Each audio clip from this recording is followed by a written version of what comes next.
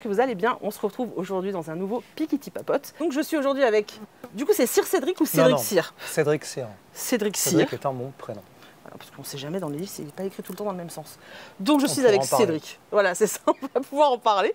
Je suis avec Cédric qui est auteur. Je pense que vous le connaissez puisque vous êtes plusieurs à m'en avoir déjà parlé. Et aujourd'hui, on va apprendre un petit peu à mieux le connaître et à mieux connaître euh, bah, ses ouvrages aussi. Euh, parce qu'il y a certains ouvrages qui foutent bien les miquettes. Et normalement, cette vidéo, vous la voyez en octobre. Donc ça va être parfait pour Halloween. Surtout l'enfant au cimetière, c'est ça hein, L'enfant des des cimetières. cimetières. Ouais. Que j'ai jamais réussi à finir parce qu'il m'a filé des cauchemars. Excellent. Il, est- fait très très peur ce livre. Donc voilà, on va aborder un petit peu tout ça, mais d'abord on va apprendre à connaître euh, Cédric. J'ai cherché un petit peu et on ne sait pas beaucoup beaucoup beaucoup de choses sur toi. Parce qu'il y a l'ambiance sonore. Je ne sais pas si les micros captent les corbeaux, Corbeaux. qui passent au-dessus de nous. Euh, C'est raccord. Non, je ne sais pas si je suis énigmatique. Mais on sait peu de choses en fait. Enfin, Moi j'ai trouvé peu de choses sur le net. Je vais commencer par citer Stephen King, comme d'hab, mais ce qui est important, c'est les histoires, hein, c'est pas, c'est pas les personnes qui les, qui les racontent. Et c'est ce qui est important, euh, quand même, euh, quand on est romancier, c'est ce qu'on propose aux gens. Mm. Et mon boulot, c'est de raconter des histoires, c'est de, de proposer du divertissement. Ce que je fais, euh, j'ai toujours dit et répété, il n'y a aucune autre prétention euh, dedans. Tu l'as très justement dit, moi, ce qui m'intéresse avant tout, c'est les histoires de peur, de frisson. Euh, J'aime bien le thriller, quoi, le, le côté, j'aime bien le dire en français, frisson, c'est, ça correspond vraiment à ce qui me plaît, ce que j'essaye de faire. Mm. Je me considère comme au service des lecteurs, euh, et donc mon boulot, c'est d'inventer ça, des, des situations dans lesquelles le lecteur peut se, je, pas- comment dire ça, s'attacher aux personnages, se s'imaginer dans la peau des personnages, et donc de vivre par procuration Mhm. des émotions fortes. Les corbeaux sont assez énormes. hein. J'ai grandi dans l'Aveyron, Ouais. il y a Il y a longtemps? il y a longtemps maintenant. ouais, non, mais vraiment, il y a, il y a une- plus de 40 ans maintenant. Euh, et. Je sais pas si micro capte, mais c'est énorme, la, bande sonore qu'on a. Euh, non, mais en fait, ouais, depuis que je suis tout petit, c'est vraiment les histoires de peur qui me faisaient. Qui, alors, l'histoire d'aventure au début et de, et de frissons. Adolescent, c'était Stephen King. Je Mm. reviens toujours sur lui parce que c'est quand même la personne qui a inventé le métier que je fais et qui a, qui a révolutionné ma vie. euh. Et encore une fois, il faut se remettre, début des années 80, dans l'Aveyron, trois chaînes à la télé, en noir et blanc pour la plupart des téléviseurs. Enfin, la télé était en couleur, mais la, la mienne était encore en noir et blanc. Donc ça paraît euh, Mm. totalement euh, alien pour les personnes aujourd'hui. Donc Internet, évidemment, c'était euh, un concept de science-fiction euh, à l'époque. Euh, et pour se divertir, il y avait euh, les histoires, Mm. il y avait les bandes dessinées, il y avait les romans d'aventure euh, pour les petits. Mm. Donc c'était pour moi ben, les, les Bob Moran, clairement. Je Oui. pense que mon premier. Après Oui Oui au pays des jouets, qui a été ma première expérience littéraire, T'es passé à Euh, Bob Moran direct. c'était Bob Moran. Ouais. Mais parce qu'en fait aussi, ce qu'il faut comprendre, c'est très important, c'est qu'encore une, encore une fois à l'époque, euh, on n'avait pas un accès aux livres Oui, aussi facile qu'aujourd'hui, l'air de rien. Alors c'était pas le Moyen Âge, mais quand même. Euh, et il y avait une, une bibliothèque, c'était même pas une médiathèque, c'est une bibliothèque municipale en- dans le petit village où j'habitais, qui était Saint-Géniès-d'Olt. Euh, et toutes les semaines, j'allais chercher des bouquins. Mm. Et les, dans la catégorie jeunesse, ben, c'était essentiellement ben ouais, le- Mais il y avait- aventure de type Bob Moran. Ouais. Bah, De toute façon, il n'y avait pas à l'époque tout ce qui est young adulte et tout. Aujourd'hui, ça n'existait pas. Donc, c'est vrai que euh, le- la transition, de toute façon, c'était le club des cinq et puis après, tu partais sur, euh, sur de l'adulte. quoi. C'est ça. Donc, euh, D'où le côté Stephen. King. Alors, entre-temps, il y a eu Tolkien. J'avais une dizaine d'années, Ah oui. c'était euh, Le Seigneur des Anneaux qui m'a... D'abord Bilbo le Hobbit, Le Seigneur des Anneaux. à 10 ans, t'as lu ça? Ouais. Ah, La vache. Et euh, j'ai dû lire les trois volumes du Seigneur des Anneaux en, en deux semaines. La vache. J'étais en sixième. Ah, donc t'étais je- un je m'en sacré souviens, euh, lecteur, bien. quoi. Ben ouais, parce que, encore une fois, c'était la seule source de divertissement, ça et les films d'horreur. Mais les films d'horreur, il fallait les louer. les louer. Il y avait un camion, et j'inventerais un, un camion qui venait dans le petit village une fois par semaine, où, on- où je louais un film d'horreur Ouais. par semaine. C'était 50 francs. La tu C'était super attendre. cher en fait. Et pendant une semaine, j'ai gardé ma cassette, je l'ai regardée dix fois. L'accès qu'on a aujourd'hui immédiat euh, à un catalogue quasi infini grâce à Internet, euh, de bouquins, de, de films, de musique, enfin, c'est, le rêve absolu. Et dans, dans les années début 80, euh, c'était ouais, c'était pour moi, c'est de la science-fiction. Ça. Je me disais, si un jour dans l'avenir on arrivait à ça, euh, le monde euh, sera bien meilleur. Et du coup, tu écumais, ouais, t'avais ta cassette et tu te la regardais toute Ouais. la semaine, quoi. Tout mon imaginaire en fait euh, ludique s'est fait à partir du cinéma et des lectures à cette époque-là. D'accord. Donc, ouais, tout, de suite, un attrait pour tout ce qui pouvait faire un peu frissonner, un peu peur, etc. Donc, t'étais pas un enfant trouillard, quoi. Si on t'avais pas peur du monstre sous le lit, quoi. Si, je suis une chochotte, hein, comme, euh, comme pas mal d'auteurs, je pense. Non, non, c'est parce qu'il y a une- vraiment une différence. Encore une fois, je répète toujours ça, mais c'est du divertissement. Donc, il y a le. Et qui nous aide à mieux affronter notre vie en plus. Quand on est trouillard, comme moi, d'avoir des histoires euh, où le personnage, qui est comme nous trouillard, affronte des dangers incroyables qu'il dépasse, c'est du médicament en fait. À la fin, c'est comme les, les contes de fées euh, de- aussi, c'est c'est le même principe. Si le- dans l'histoire, le personnage a le courage d'affronter euh, le monstre du placard, ben, dans notre vie quotidienne, on aura le courage d'affronter euh, sa famille, euh, les Mm. profs, les choses de base en fait. Il me semble vraiment la, la fiction, tout ce qui est culturel m'a- m'a appris à rester debout, m'a permis, même adolescent, comme tout le monde, on traverse des périodes où on se, on se pose des questions. La vie, euh, elle n'a jamais été facile. Et, euh, avant, maintenant et plus tard, ce sera encore pire peut-être. Mais euh, et la musique nous permet de rester debout, euh, d'avoir des, sons qui nous gal- galvanisent, euh, les histoires avec des modèles. Et puis des fois de se dire aussi, parce que pour la littérature, là je passe quelques années après, mais c'est important. quand j'étais ado, il y avait un autre auteur, après Stephen King, qui m'a. Pour revenir d'abord à Stephen King, je, je digresse à peine, hein, mais c'est très important. King, ça a été la découverte que la littérature, c'était quelque chose d'incroyable. Mais tu te souviens du premier King que tu as lu? Je ne veux pas dire de bêtises. hein. C'était, je dois avoir 12 ou 13 ans. C'était les nouvelles d'abord, donc ça devait être Brume, D'accord. Paranoïa, La. Faucheuse. Euh, ça est sorti juste après. Ouais, ça. C'était juste avant ça en fait, mais c'était Mm. l'époque cimetière. C'était l'époque cimetière. D'accord. Voilà, c'était les premiers que j'ai lus, ça c'est cimetière. Ça, enfin, c'était donc c'était 85, 86 Mm. par là euh, à la louche, et euh, ou 87, mais vraiment ces années-là. Mais King en fait m'a appris que, la, contrairement à ce que l'école nous montrait, que la littérature c'était actuel, Mm. que la littérature c'était divertissant. Mais c'est important parce que souvent euh, à l'école on nous apprend que la littérature c'est chiant, que les auteurs c'est des gens qui sont morts et vrai. que pour que ce soit bien, il faut qu'on ne le comprenne pas. Euh, c'est pas ça la littérature. La littérature, c'est quelque chose de vivant. euh, et King me l'a montré. Euh, il parle de la classe moyenne Oui. au quotidien, des cauchemars qu'on a, des interrogations, des problèmes familiaux, des problèmes de, de chômage. De, Bah, il parle beaucoup des gens, quoi. voilà. Ouais. C'est du roman américain, c'est un des plus grands auteurs américains. Et, et en même temps, c'est divertissant. On tourne les pages en se disant, oh mon Dieu, euh, je veux absolument savoir euh, ce qui Mm. va se passer. Et avec des frissons jusqu'au bout. Et, et ça, c'était essentiel. Et donc, c'est là où je voulais en venir. Quelques années après, j'ai découvert un autre auteur qui s'appelle Clive Barker, un Mhm. auteur anglais, qui habite aux États-Unis maintenant, qui lui, en fait, m'a appris quelque chose d'encore plus important en littérature, mais que King déjà avait commencé, c'est qu'on a le droit. C'est pour ça que je reviens à l'adolescence, à cette période où on se cherche, on se pose des questions, euh, ou d'autant plus aujourd'hui, sans être, euh, sans faire, euh, sans avoir de message, mais Barker, donc qui était en plus gay à l'époque, dans une période justement compliquée, pour le coup, il y avait vraiment des, des choses à, à gagner. C'était quelqu'un qui te montrait dans ses bouquins que tu avais le droit. Tu avais le droit de d'éclater les, les règles sociales, les règles de littérature, Mhm. de faire. Je prends toujours cet exemple quand je parle de lui, mais en, en littérature, il y a toujours un début avec le gentil et le méchant. Le gentil et le méchant s'affrontent, et à la fin, il y a un des deux qui gagne. En général, c'est le gentil, puisqu'il faut qu'il y ait une morale. Barker, dans un de ses romans, le- qui s'appelle donc c'est The Great and Secret Show, donc Secret Show en français, euh, il y a le gentil et le méchant qui luttent tous les deux pour le pouvoir absolu. Et à à peu près un tiers du livre, le gentil se rend compte qu'il n'est pas à la hauteur parce qu'il est trop faible et il se suicide. Il s'immole par le feu de- devant tout le monde euh, dans un centre commercial. Mais j'avais ouais, 16 ou 17 ans quand j'ai lu ça, 16 ans, et je me suis dit, mais c'est incroyable, qu'est-ce qui va se passer maintenant Mm. La vie, elle est comme ça, la vie, elle n'est pas en trois actes, hein, comme les, comme les Oui. romans. Euh, et donc Barker m'a appris ça, m'a appris que aussi par rapport au schéma habituel des histoires, où il y a justement cette morale à la fin, avec un statu quo initial, un monstre qui arrive, on repousse le monstre. Comme ça, les normes sociales restent euh, inchangées. Et King a fait ça en fait toute sa vie. Et à la fin, on revient au statu quo de départ. En fait, on a, on a combattu le vampire, le communiste, l'extraterrestre, l'homosexuel, parce que vous voulez dans les histoires euh, diverses et variées. Et à la fin, on revient au- à la cellule initiale de base.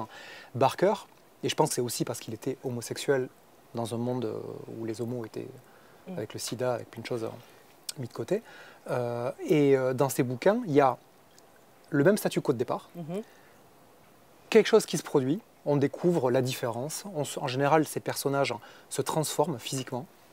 métaphoriquement. Et à la fin, on ne peut jamais revenir au point de départ, puisqu'on a appris quelque chose, le monde a été changé. Euh, même si on a affronté des choses différentes, on a ouvert des portes, on, on- ouais, on s'est transformé euh, comme, comme il a, comme il a créé dans à peu près tous ses, ses bouquins. On peut plus, je prends mon exemple de Secret Show, avec le gentil qui se suicide Mhm. à un tiers du bouquin, on peut plus à la fin revenir au point de départ. Bah oui, non. C'est j'allais dire. Voilà, c'est, on passe à autre chose et, et on, et on évolue et, la vie, elle est comme Mm. ça. Et euh, donc, donc, ces auteurs-là ont vraiment façonné qui je suis dans ma façon de, de voir le monde, Mhm. aussi de comprendre le monde, justement, qui n'est pas binaire. C'est pas blanc ou noir, c'est pas avec nous ou contre nous. Tout est en évolution permanente. Et il faut avoir ce, ce- ce recul-là, en fait, avec le monde. Donc ça, ces auteurs-là m'ont appris ça, ce regard-là sur le monde. Et en même temps, ils m'ont aussi montré que écrire des bouquins, c'était un vrai métier. Oui. Ce qui aussi est quelque chose que la société a tendance à nous dire non, non, non, d'abord euh, fais tes études, apprends à être Mm. boulanger ou, ou dentiste. ou- T'écriras sur euh, le reste du temps. voilà, et tes loisirs, euh, tu feras du surf et tu écriras quand tu voudras. Et alors que non, dès, dès mon adolescence, je me suis dit, mais raconter des histoires, c'est un vrai métier professionnel, Mm. euh, d'actualité, et euh, c'est ce que je veux faire. Évidemment, les conseillers d'orientation me disaient, oui, d'abord, tu- ce serait mieux que tu fasses une prépa, que tu sois d'abord prof de français, par exemple, et que... euh, et évidemment, j'ai écouté personne, et j'ai fait comme ma tête, comme d'hab. Et la preuve, c'est devenu mon métier. Et du coup, aujourd'hui, c'est 100% ton métier? Ouais, ça fait ouf, plus de 10-15 ans maintenant que, que C'est mon seul, mon seul métier. Ah, c'est chouette. C'est une belle réussite, quoi. Après, on n'est pas riche, hein, on est par contre aussi dans les clichés. Euh, oui, les gens s'imaginent premièrement que qu'être écrivain, c'est pas un vrai métier, et que les, et que les rares élus, et on pourrait en parler d'ailleurs, parce que tous les, les fantasmes qu'il y a là-dessus, que les rares les élus sont, sont riches, hein, et comme dans les, comme, comme à la- comme dans les films télé. et- Bah, à part si t'es J.K. Rowling. euh, Voilà. Non, c'est juste un boulot comme un autre. hein. C'est juste la différence principale. Ce qui différencie en fait ce métier, je pense, de tous les autres métiers, qui le rapproche des métiers artistiques, mais, mais quand même dans les métiers artistiques, c'est une passion. Mm. C'est une passion absolue. J'ai une double chance inouïe, c'est que j'ai trouvé ma passion dans la vie. Je sais ce qui me fait triper, ce qui me donne des frissons, c'est d'inventer des trucs et de les faire partager. Et de voir les gens après euh, ou être dégoûtés, ou, euh, ou être touchés, ou enfin, provoquer des, des réactions. J'ai cette chance-là. Et j'ai une deuxième chance, c'est que ce que je produis marche suffisamment pour Oui. me permettre de vivre. Et c'est une chance. Ah j'en ai- conscience, hein, c'est c'est une chance absolue. Quand on me pose la question à Mm. chaque fois, pour que les gens comprennent, c'est qu'il faut s'imaginer que quand vous payez 20 euros un bouquin, Mm. l'auteur va toucher à peu près un euro. Voilà, ça, ça, c'est le... Ouais, Et avec ça, ça, il faut payer son loyer. ça fait mal quand même. Voilà. Ça, ça fait mal. Non, mais ceci dit, ceci étant dit, c'est un vrai métier qui permet quand même de gagner de l'argent si on le fait bien. Euh, Il y a une partie de chance évidemment qui, qui joue, mais, euh, mais il ne faut surtout pas décourager les gens de, de l'écriture ou de, de s'exprimer en fait, tout simplement. Et du coup, t'as mis longtemps à réussir à te faire éditer ou euh, ça s'est fait assez euh, facilement? Oh, c'est une longue histoire. On a, on a- on a du temps. Non, mais alors vraiment, euh, parce que pour tout remettre depuis le début, adolescent, en plus de la littérature, ma passion absolue, c'est la musique. D'accord. Le metal, le hard rock, comme on disait dans les années 80, le heavy. Euh, dans les années 90, il y a eu une espèce de mutation avec le black metal, enfin, Mm. les- le death, ce qu'on appelait les musiques extrêmes, qui sont mis à métisser euh, divers genres euh, musicaux, et ça a été un âge d'or musical et euh, une ouverture en fait musicale incroyable, où le, voilà, qui, a, qui a rayonné mondialement et qui a changé le visage de la musique. J'étais assez actif à cette époque-là dans ces milieux, on va dire, souterrains. Et j'écrivais mes histoires de, mon côté. Toute, mon, toute mon adolescence, j'ai j'ai écrit des romans, des, des nouvelles, enfin plein de trucs que personne n'a lu, Mhm. parce que j'écrivais pour moi. Et à ce moment-là, j'ai eu envie de faire partager réellement ce que, ce que j'écrivais. Donc, soit plus juste un loisir, mais voilà, de voir. Je me trouvais à la hauteur, enfin. De... Par contre, je voulais tester. Donc, j'ai fait comme les groupes. Euh, je connaissais rien au milieu de l'édition. Mhm. Et c'était encore une fois avant Internet.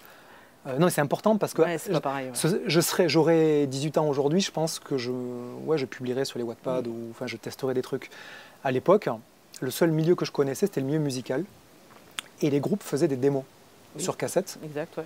après CD euh, gravés, et maintenant je pense à des clés USB, euh, ou des fichiers MP3 Mm. même qui- qu'ils envoient, puisque tout évolue et c'est super bien, on pourra en parler aussi. Mais du coup, le seul modèle que j'avais, c'était le modèle des démos. Donc je me suis dit, je vais réécrire des histoires courtes que Ouais. je peux faire lire facilement. J'ai- Et j'ai fait des démos, deux textes. En fait, comme les groupes faisaient Mm. des, des cassettes pour démarcher leurs concerts, pour démarcher les labels, moi j'ai fait des petites plaquettes que j'imprimais euh, de trois nouvelles à chaque fois, que j'imprimais à la maison, que je pliais, que j'agrafais, que je massicotais. Ah oui, euh, d'accord. je faisais ça plutôt bien. Comme des... En fait, ça ressemblait techniquement à des hum, plaquettes de poésie. D'accord, ouais. Voilà, le... j'imprimais ça sur de... du papier à lettres, nervuré. Enfin, il y avait des, des petits- C'était assez joli, c'était do it yourself complet. Et je les vendais prix coûtant en fait contre des timbres au début pour les premières personnes qui avaient envie, mais dans les milieux underground, comme, mais comme les petits groupes passaient Mm. leurs cassettes de démo avant de signer. J'envoyais ça au magazine. Euh, progresser alors du fil en aiguille, hein, ça a mis quelques années. Euh, des magazines m'ont demandé de publier des nouvelles D'accord. des magazines m'ont- ou des éditeurs en fait m'ont commandé des nouvelles. C'était chez les Belles Lettres. hein. J'ai- les Belles Lettres, m'ont, euh, les éditions Les Belles Lettres m'ont acheté. Et c'est les premiers textes aussi que j'ai vendus. Donc c'était vraiment des histoires courtes. hein. Euh, des anthologies en fait m'ont voilà, passé des commandes. Et j'ai commencé à vendre des textes comme ça pendant quelques années. Jusqu'à ce qu'un tout petit éditeur euh, me propose de, de publier un recueil. Ça a été mon premier bouquin euh, publié dans le réseau professionnel, même si c'était encore une fois un Mm. micro, enfin micro-éditeur, on dirait aujourd'hui. Euh, et ça a été Déchirure en 2005, qui en fait a regroupé le meilleur de mes histoires hein, écrites sur une dizaine d'années. D'accord. Il y avait neuf, euh, neuf textes. Et en gros, oui, dans, dans Déchirure, il y, a, il y a des textes écrits en 1993 euh, jusqu'à 2004. Ah oui. Ouais, sur, sur à peu près 10 ans, Mm. c'était vraiment le, le meilleur de ce que j'avais écrit, donc très varié. quoi. Et c'est comme ça que j'ai commencé à mettre le pied timidement dans le milieu professionnel. Mais j'ai, en fait, voilà, j'ai jamais démarché réellement les éditeurs, je Mm. ne savais pas comment faire. Et encore une fois, c'était avant Internet. Enfin, Ouais, c'était bah au oui. tout début, euh, ma première démo, elle était, elle- je l'ai faite en 1998. Et, euh, mais en fait, ça m'a vraiment servi parce que déjà, ça m'a permis de me confronter euh, au, lec- au lectorat. Mm. Ces histoires étaient, c'était le meilleur de ce que je faisais à l'époque, mais c'est ce que j'écris aujourd'hui est mille fois mieux. En fait, c'était voilà, c'était mes balbutiements. hein. Et, et en fait, j'ai eu de la chance parce que finalement, de livre en livre, c'est pas tant moi qui ai démarché des éditeurs, ce sont les maisons qui m'ont euh, qui qui m'ont repéré, qui m'ont en fait débauché quelque part. euh, à chaque fois que j'ai changé de maison, quasiment, c'est euh, un nouvel éditeur qui m'a D'accord. qui m'a qui m'a montré son amour et qui m'a proposé de me publier en m'expliquant par A plus B qu'ils étaient les plus à même de Mm. défendre ma vision. Est-ce que parfois, parce que quand tu es passé chez Métro, c'est Métropolis, hein, Ouais. c'est ça. Quand tu es passé chez Métropolis, j'ai trouvé que tes romans changeaient complètement de ce que tu faisais. Enfin moi, quand j'ai commencé à lire ceux de chez Métropolis, je trouvais que c'était vachement différent de ce que tu faisais avant. Est-ce qu'il y a eu une influence par rapport au fait que tu avais changé de maison d'édition ou c'était vraiment, voilà, c'était juste toi, Alors, une envie différente euh absolument pas l'impression d'avoir Ah, changé quoi que ce soit. Euh, Il y a une chose qui a changé, mais on va en parler. Parce que bon, c'est l'éléphant dans la pièce. Euh, j'ai changé de pseudo. J'ai inversé, tu en parlais au début. Euh, je... Parce que quand j'étais ado, ne connaissant rien. Alors déjà, j'avais un, surnom qui était Sir Cédric, hein, qui venait en fait des, des auteurs classiques. hein. Comte de Lautréamont, Marquis de Sade, euh, etc. Lord Byron. Voilà, c'était un jeu de mots. C'était en plus il y avait Sir C, l'initiale Oui. C. Ça faisait jeu de mots avec la, magicienne Circé. C'était pas sérieux. Et quand j'ai commencé à publier dans des, chez des petites structures, on m'a pas demandé d'en changer. Donc j'ai commencé par défaut. En fait, on m'a demandé si j'avais un pseudo. J'ai dit ben ouais, je suis Sir Cédric. Euh, donc j'ai commencé comme ça. Et l'air de rien, l'apparence. Et là, on en revient à ce que je disais sur le Mhm. monde dans lequel on vit, mais on juge tout le monde sur leur apparence, tout- sur son apparence, tout le temps. Euh, et plus mon look de métalleux. Euh, Sire, la plupart des gens se sont imaginés que j'écrivais des histoires euh, de vampires Oui, d'accord. ou Mm. de Harry Potter ou jeunesse, enfin young adult, euh, alors que pas du tout. Encore une fois, mes influences, en gros, pour résumer, c'est Stephen King, hein. Mm. Maxime Chatham euh, plus tard, euh, Granger, c'est du ce qu'on appelle le frisson en fait. Mm. C'est et l'élément surnaturel qui était présent au début, c'était pas un but en soi, c'était une manière de d'inventer des histoires qui moi me passionnent et, qui me fassent vivre des émotions fortes. Et on a eu l'impression qu'à partir de Vindicta, Mm. mais en réalité le roman précédent c'était du feu de l'enfer, C'est mon préféré. mais il est exactement comme Vindicta. Il n'y a pas de fantastique du tout. Il est ultra réaliste, il est gore, est trop bien. Il y a des gens crucifiés, coupés en deux. C'est une histoire de secte. hein. Euh, avec des têtes d'animaux sur la tête. Voilà. Mais c'est ancré dans la réalité.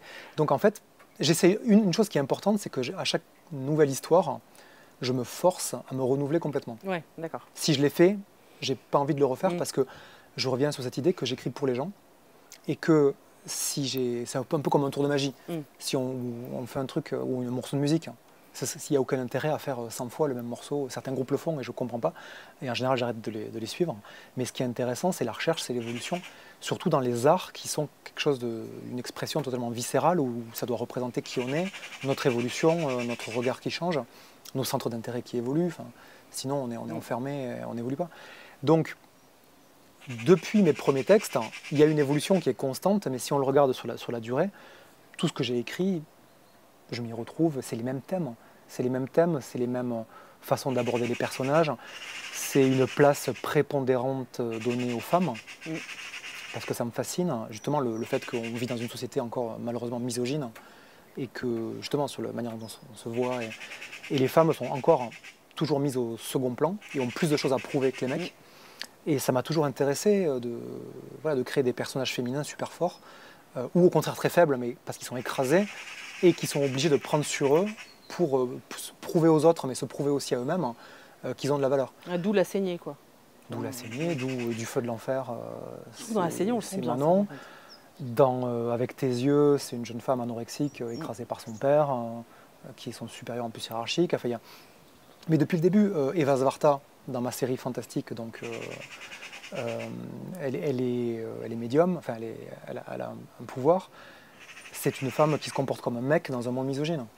Et en plus, physiquement, elle est albinos, elle est, elle est différente. il y a le, ce côté aussi, voilà, altérité tout le temps. Mais en fait, ouais, mes thématiques, elles n'ont pas changé. Ma manière d'écrire, elle est juste meilleure. Il n'y a pas eu. Par contre, le changement qu'il y a eu, justement, ça a été l'inversion du pseudo. Je me suis dit, les gens ne comprennent pas ce que je fais. La plupart des gens continuent de voir ma photo avec Oui. le nom Cyr et se disent, ce mec écrit du Harry Potter. Et j'ai fait comme dans. euh, prenons un, euh, un exemple littéraire. Le Petit Prince Mhm. dont l'astéroïde a été découvert euh, par un Turc qui a, qui a fait un, un congrès d'astronomie qui a expliqué par A plus B qu'il avait découvert l'astéroïde du Petit Prince en habit traditionnel. Tout le monde s'est foutu de sa gueule. Mhm. Et cinq ans plus tard, le même euh, scientifique, à la nouvelle, au nouveau congrès de- d'astronomique, de, de de sciences, euh, refait sa même démonstration sur la découverte de l'astéroïde, habillé à Oui. l'européenne, et tout le monde applaudit en disant qu'il a raison. Mm. L'apparence fait tout. Donc, même personne, Sir Cédric, j'ai inversé, Cédric Sir, donc ça fait plus crédible, un prénom, un nom de famille. Et tout le monde a dit que j'avais changé de style littéraire.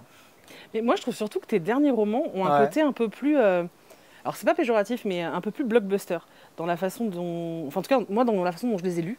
Ouais. C'est-à-dire que euh, autant les autres, je les ai lus sur un ou deux jours, autant les, bah, les bah, Vindicta, en fait, à partir de Vindicta, Ouais. c'était. euh, J'arrivais plus à les lâcher, en fait. Et euh, c'est comme quand tu regardes un film et, et qu'en fait, tu veux trop savoir la fin et on aura beau. Enfin, quelqu'un t'interrompt, c'est. chut, chut.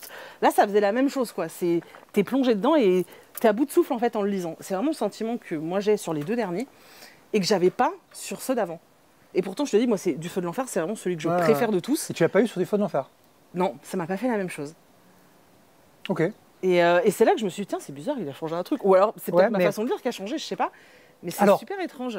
Ce que moi j'aurais tendance à penser, mais évi- évidemment je ne suis pas dans la peau de chaque... Et en plus chaque lecteur est Ah, différent. clairement, ouais. La grille de lecture de chaque personne Mm. est différente. Euh, Il y a des gens qui vont détester ce que je fais viscéralement. Tant pis. Ouais. Tant pis, on peut pas faire. hein. Voilà. Euh, et puis des fois, des gens aiment bien, et puis un de mes bouquins les déçoit. Oui.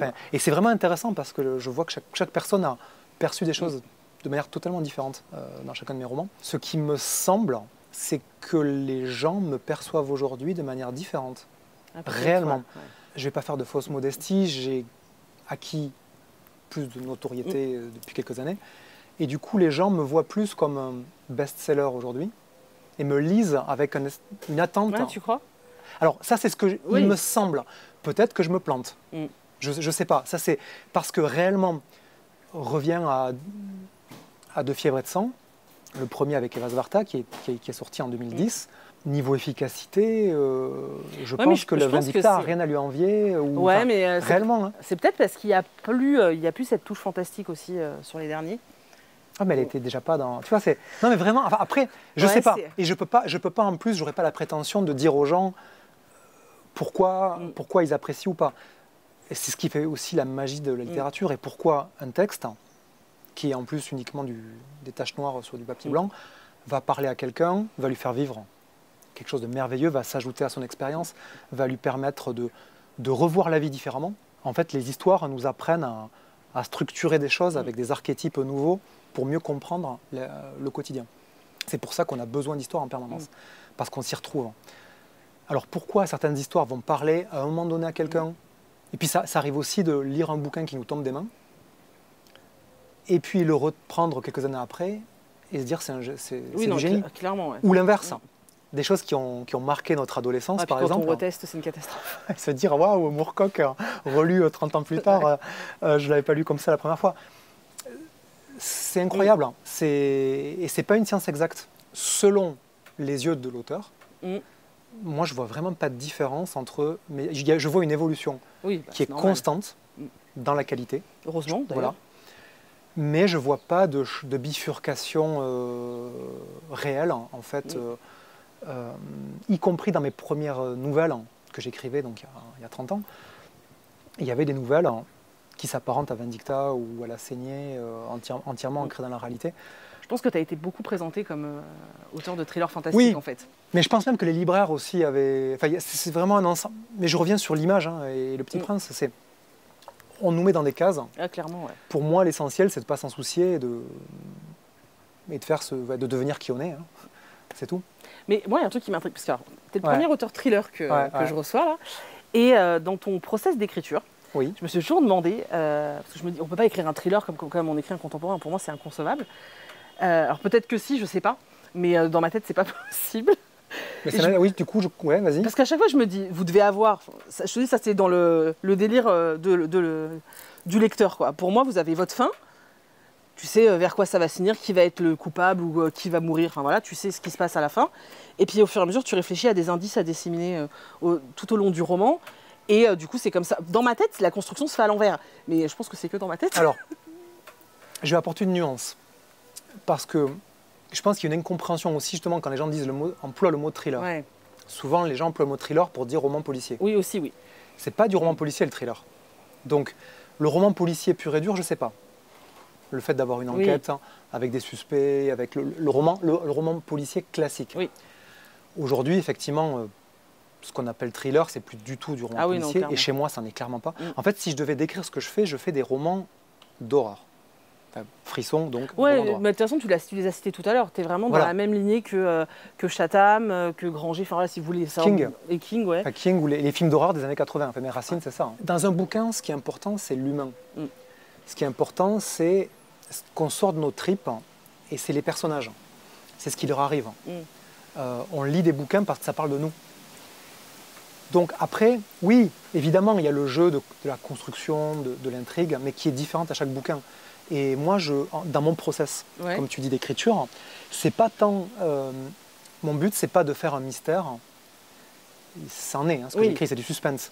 Mais justement, je fais du suspense. C'est la gestion de, de l'impatience du Mm. lecteur qui me plaît. C'est le roman d'aventure. Je citais Bob Moran hein, tout à l'heure comme euh, première lecture marquante, mais Mhm. il y a ça dans ce que je fais.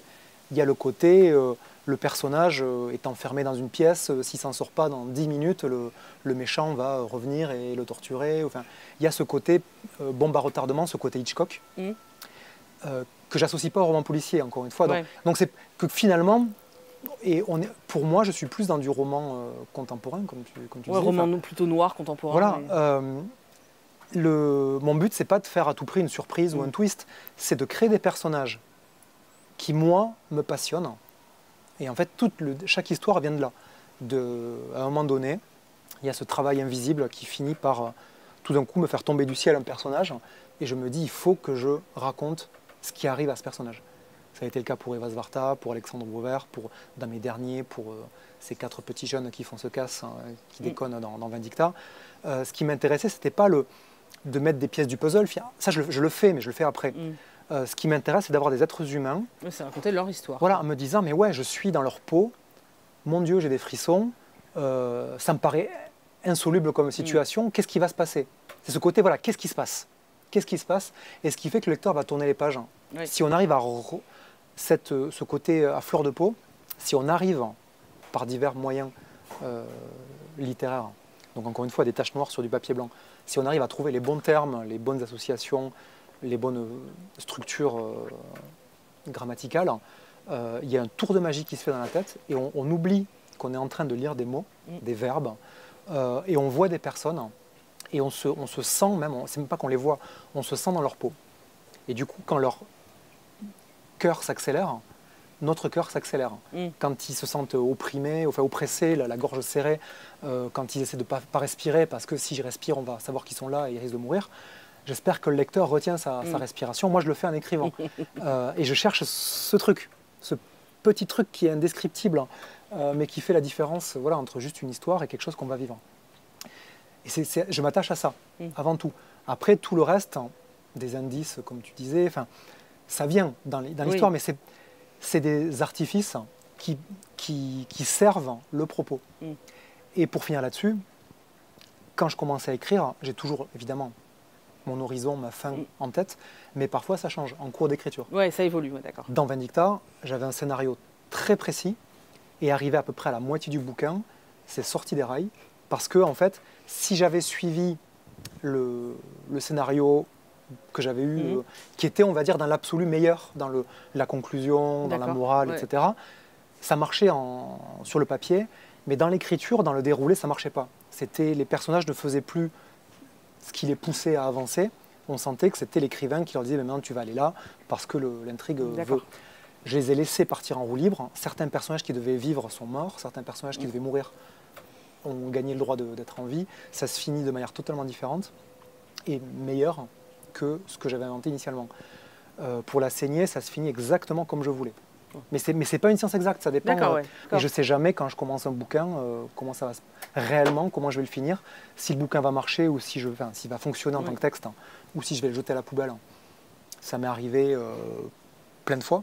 Pour, pour le roman Avec tes yeux, j'avais commencé à écrire un autre roman. Ça faisait, je sais pas, 3-4 mois plus que je bossais dessus. Et en revenant de Paris dans, un- dans- dans l'avion, j'ai eu un flash et j'ai eu quasiment tout le bouquin avec tes yeux qui m'est arrivé. Et j'ai réalisé à quel point euh, le roman sur lequel je travaillais ne m'intéressait pas. D'accord. Donc j'ai jeté à la poubelle et en une heure d'avion, euh, j'ai écrit les premiers chapitres d'Avec tes yeux. Je suis rentré chez moi et en quelques mois, j'ai écrit Avec tes yeux, juste sur cette lancée. euh. Donc ça tient à pas grand-chose. Mm. Et le travail, parce que là je reviens à ce que je disais tout à l'heure sur le boulot d'écrivain, finalement, ce que je voulais dire que j'ai- j'avais pas fini, c'est que c'est un vrai métier. Je paye des impôts, euh, voilà, l'éditeur me paye, euh, je dois quand même fournir de la, de la matière, etc. Et c'est voilà, c'est un vrai métier. Euh, je paye mes ma retraite avec, etc. Et en même temps, en même temps, c'est pas un vrai métier. Et, et c'est pas antagoniste, hein, c'est pas antinomique. hein. Mm. C'est la même chose. C'est c'est ça qui est fabuleux dans ce truc. C'est que c'est pas du tout un métier, c'est une passion. Ouais. On peut pas se forcer. Euh, Il n'y a pas de recette. C'est pas une science exacte. Euh, et c'est de la magie. En fait, c'est vraiment de la magie. C'est qu'on ne sait pas à quel moment elle va, à quel moment Dieu va envoyer un rayon de lumière sur nous et, et on aura la grâce. Enfin, c'est une métaphore. hein, je- Mais c'est génial, en fait. Et, et du coup, il y a ce côté excitant en permanence Ouais. parce qu'on ne sait jamais, en fait, euh, comment ça va se passer euh, à chaque nouveau bouquin. Et là, en ce moment, tu travailles sur un nouveau. euh, Mais quand- ben, en fait, oui, ça fait déjà oui, un certain temps que mon dernier, euh, La saignée, est sorti. Ouais, bah oui, c'est pour ça. Et je demande. je travaille, mais pareil, je suis un- je peux pas encore en parler. Il y a des choses, mais je ne sais pas du tout. euh, je sais pas du tout où ça va. D'accord. Donc on n'aura pas Donc, tout de suite euh, le non. livre, les gars. Mais ce qui est important à savoir, c'est que voilà, je ne, je ne rends ma copie à chaque fois que Mm. quand, voilà, je- pour moi, c'est le meilleur de ce que je peux Oui, sortir t'as de pas, moi-même. euh, on t'impose pas un délai en te disant bon, ok, Cédric, telle date, euh, on veut ton, euh, ton manuscrit. Quoi.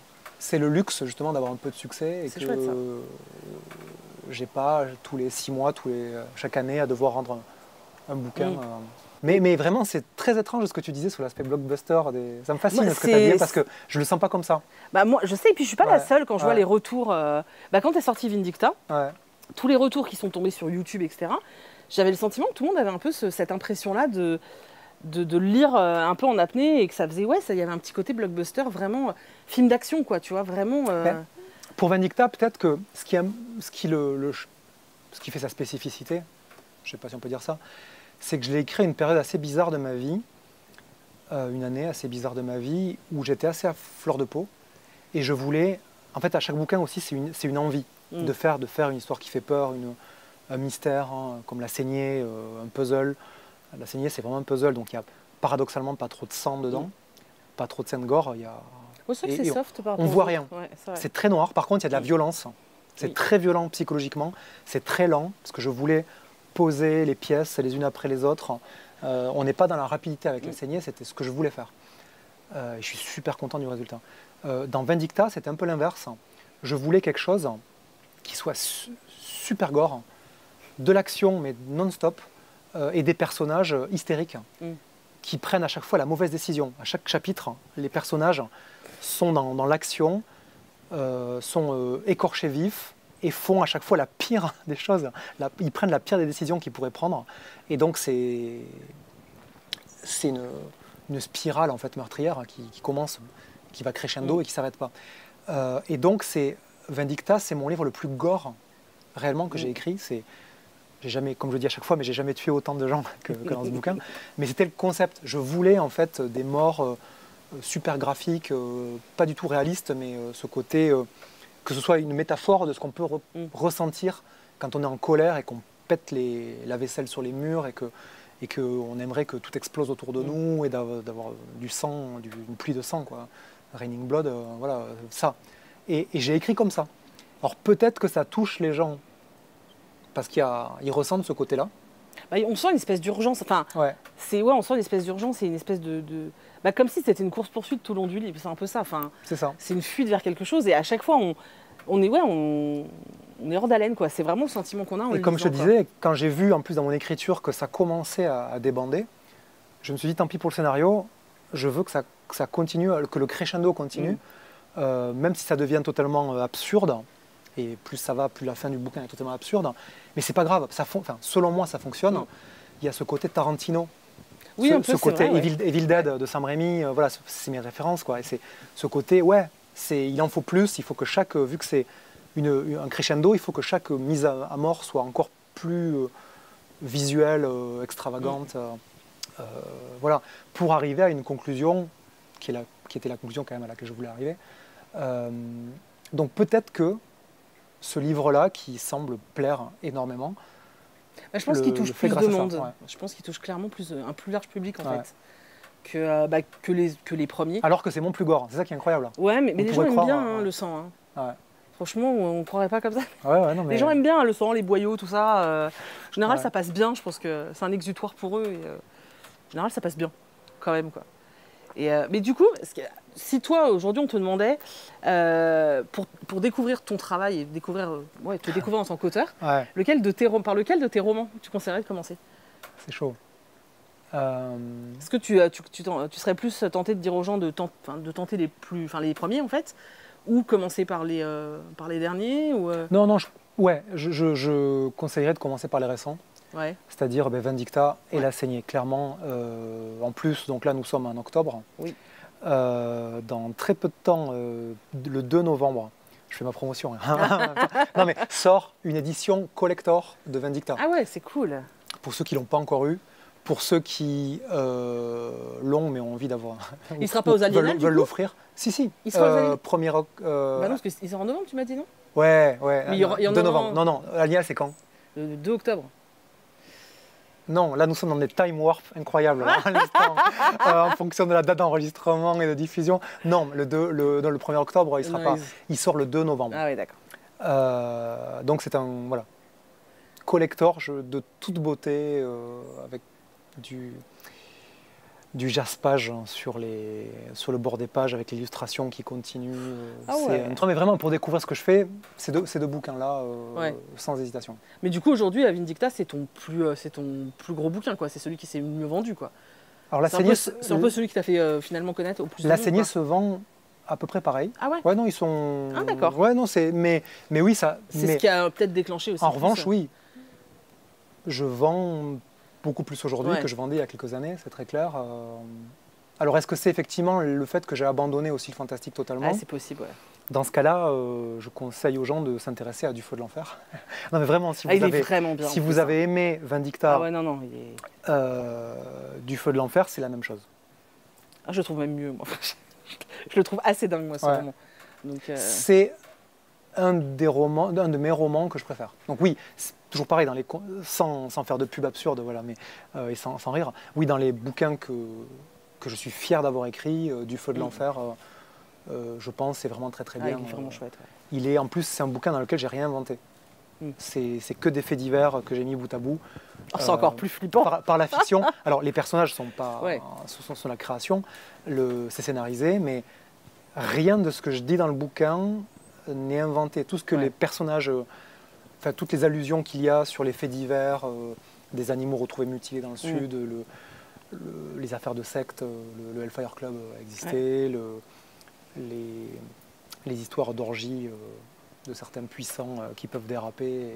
Il y a eu régulièrement dans l'actualité des, des choses, euh, y compris à Toulouse, euh, avec un tueur en série bien connu maintenant. Tout, tout ça, en fait, j'ai juste pris des. C'est pas un bouquin à clé, hein, c'est Mm. pas pour dénoncer quoi que ce soit, mais, mais dans mon process de, de création, je me suis dit, mais en fait, ouais, si on met tout bout à bout, de Dutroux à Allègre, euh, voilà, en passant par les baraques abandonnées euh, vers Montpellier, enfin de. J'ai pris plein de choses, j'ai compilé et je me suis dit, il suffit de trouver des personnages qui vont être plongés là-dedans et, et j'ai un bouquin incroyable sans avoir à, à parler de fantômes Mm. Ça, euh, ouais. ou de, d'autres choses, la, la réalité. Et en plus, ce que j'adore quand j'ai sur mon feeling quand j'ai écrit du feu de l'enfer, c'est que je me disais à chaque fois, mais en fait c'est possible, vu que je prends des choses qui se Oui, sont passées, ouais. dont on n'a pas le- les tenants aboutissants, mais vu que je fais allusion à ça, ce que j'écris là, en fait, potentiellement, euh, Mm. ça, ça a pu se passer, ça aurait pu se passer comme ça, dans une réalité. horrible. euh, Et puis, il est prenant dès le départ. Enfin, c'est vraiment un bouquin, euh, tu lis le premier chapitre, euh, c'est monté dedans, quoi. Enfin, j'ai trouvé ça assez impressionnant, quoi. C'est, de toute façon, c'est celui que je préfère. Je vous l'ai déjà dit plein de fois, donc c'est pas nouveau. Vindicta est pas mal aussi, mais c'est pas la même chose. C'est pas pareil. Bah écoute, merci d'avoir moi. partagé tout ça avec nous. je parle beaucoup. C'est bien, c'est que tu as plein de trucs à nous raconter, c'est cool. Et euh, bah, merci beaucoup en tout cas d'avoir joué le jeu et de nous avoir parlé de tout ça. On attend euh, ton prochain livre quand il sera prêt. Voilà. Et puis bah, l'édition collector de Vindicta, du coup, euh, le 2 novembre, c'est ça? Ouais, Vindicta, donc Vindicta Collector euh, à ne pas louper en novembre. Il y a le livre Hellfest que j'avais fait avec la journaliste euh, Isabelle Marcely, des beaux livres chez Grund, qui ressort avec une nouvelle couverture et du contenu, euh, du contenu en plus. C'est des témoignages de groupes de métal, D'accord. donc euh, ma passion, euh, ayant joué au Hellfest Mm. et qui s'adresse aux lecteurs en fait. D'accord. Beau livre aussi pour Noël. euh, en plus, la réédition est encore plus belle que la, la première édition. Donc, il y a plein de choses à offrir. Bah, si je trouve les liens des précos, je vous les mets en barre d'infos, comme ça vous pourrez aller jeter un coup d'œil. Et, la saignée, Et la qui reste mon actualité, voilà. Oui, qui est sorti. euh, qui est sortie juste là. Donc là, ouais, ouais, vraiment. Enfin, la, la- la vraie- nouveauté en, en librairie, c'est le, le poche de la Ouais. bah, parfait. Bah, vous avez plus qu'à aller. absolument en- lire. hein. Vous avez plus Ne qu'à aller serait-ce faire que pour me découvrir. Voilà, c'est ça. Et ben merci beaucoup. C'est moi. Et euh, puis bah, merci à vous d'avoir regardé jusqu'au bout. N'hésitez pas à nous laisser des petits commentaires, des petits pouces en l'air, tout ça, tout ça. Si vous avez des questions, n'hésitez pas à les poser euh, dans, les, euh, dans les commentaires et je transmettrai, on ne sait jamais. hein. Voilà. Et puis je vous fais des gros bisous et je vous dis à bientôt dans une prochaine vidéo. Bye bye Salut